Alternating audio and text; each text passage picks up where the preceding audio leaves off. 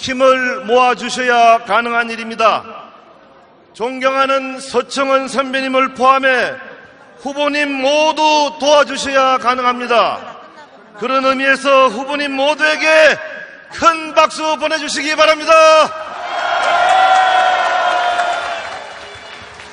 정치는 결국 국민의 먹고 사는 문제를 해결해 주는 것입니다.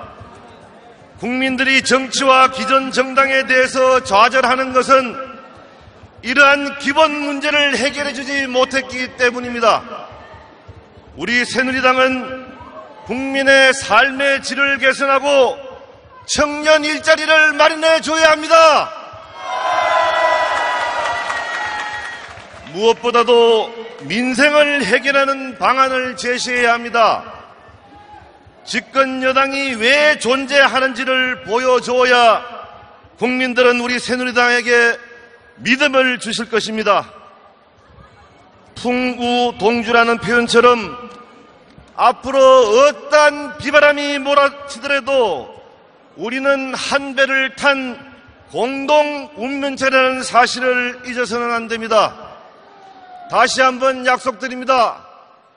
새누리당이 보수 혁신의 아이콘이 되도록 하겠습니다. 언제나 당원 동지 여러분과 함께 하겠습니다. 새누리당 만세! 감사합니다. 다음으로 김무성 대표 최고위원님과 함께 네, 우리 새누리당의 새누리당 새로운 새 주도부를 대표로 선출된 김무성 의원의 당선 연설을 들으셨는데요. 어, 김무성 의원이 역시 온몸을 바치겠다 이런 얘기를 했습니다. 간략하게 전해, 정리해 주시죠.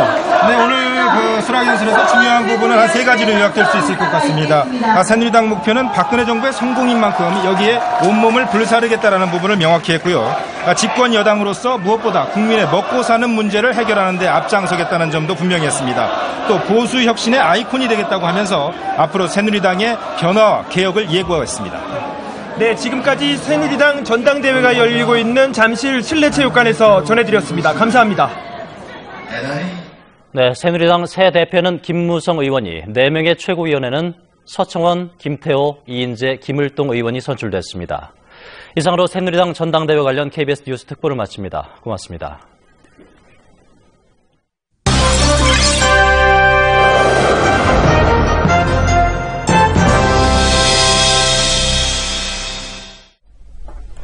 KBS 뉴스 특보와 함께 하셨습니다. 방송이 갑자기 중단된 점 양해해 주시기 바랍니다. 네, 계속해서 앞서 보셨던 그 전남 한평의 미니 단호박 이야기 만나보시겠습니다. 네.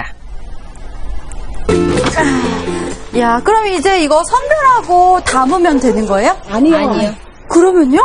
한 10일에서 15일 숙성시켜가지고, 이제 장거 큰 거 선별해가지고 담, 담아가지고 나갑니다. 아, 여기서 숙성을 해요? 네. 아, 이거 그냥 갓 딴 거를 가지고 가야지 더 아니요. 싱싱하지 않아요? 갔다 오고 먹으면은 방금만 맛만 나고, 이제 숙성을 시키가 먹으면은 진짜 호박 맛이 난게 그래 먹는 거, 그래가지고 이제 차이를 두는 거예요. 아, 숙성시킨 건 네. 더 달콤하고. 그리고 달고, 포근포근하고, 안에가 요렇게 이렇게 새파랗고. 이것도 노랗고 아, 좋은데? 그래, 그래요. 그리고 요거 숙성되면은 네. 잘라가지고 보면은 안에가 완전히 숙성돼가지고 노래요. 더 노랗구나. 훨씬 노랗고. 아, 이렇게 보면 네. 진짜 겁나게 이게 맛있어. 숙성된 거, 이게 방금 갓 딴 거. 아, 정말 이게. 숙성 안 됐는 거 됐는 거 뒤에 차이가 많이 나잖아. 오, 진짜 그러네요.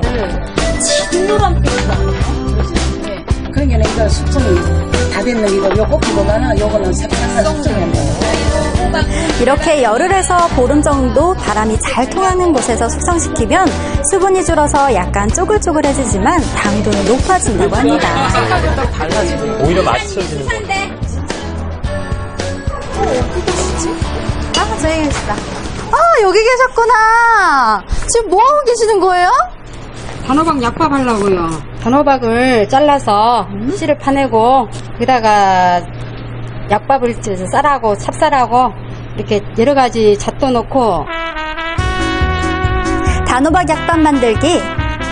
찰밥에 참기름, 흑설탕, 대추와 밤, 잣 등을 비벼서 약밥을 만들고 속을 파는 단호박 안에 채웁니다.